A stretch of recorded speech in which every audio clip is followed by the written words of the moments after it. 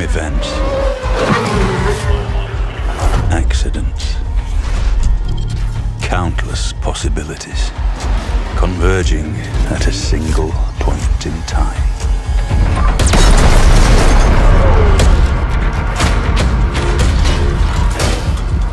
Yet, there is only one truth, a cause.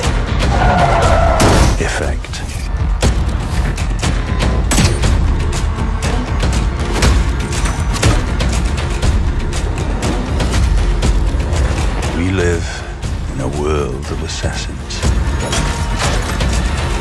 And the best of them all is Agent 47.